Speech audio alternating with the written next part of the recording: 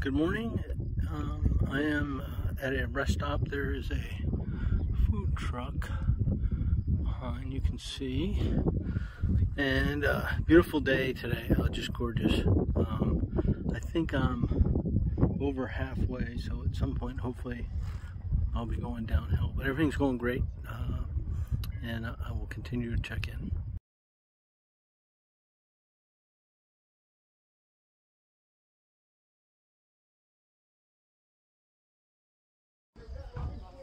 Good morning from Refuge Orisson. Um, I left about 6.15 this morning from St. John and uh, took me about two and a half hours to get here.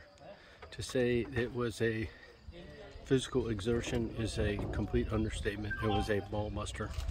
Um, fortunately, I broke out my uh, my walking sticks and that made it much easier. So that was a lesson learned there that uh, I took somebody else's advice and it worked well. But uh, we'll, uh, I've got 11 more miles to go today. Most of it, two miles is uphill, the rest of it's downhill. So should be pretty easy the rest of the day. I had a cafe con leche and a Spanish tortilla for breakfast, so I am ready to rock and roll.